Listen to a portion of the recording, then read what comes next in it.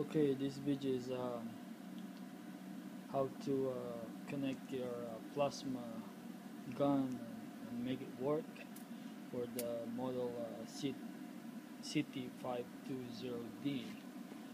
Um, this is my connection. This is the plasma gun right here. And this is the ground at the back. This is the way how I connect it.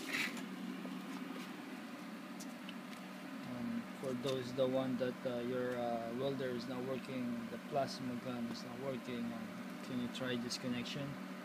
Um, I try uh, 110 volts. And on this one I, bought from uh, Home Depot. And then um, if you don't have this uh, you can buy this one also in Home Depot or Lowe's. And uh, connect the hose from here over there and from this one's up to gas inlet and this one's uh, from the gas or compressor. And um, as you can see I make a, a little mess.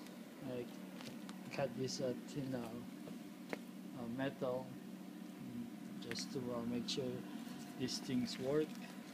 And um, these things work. Wherever you can see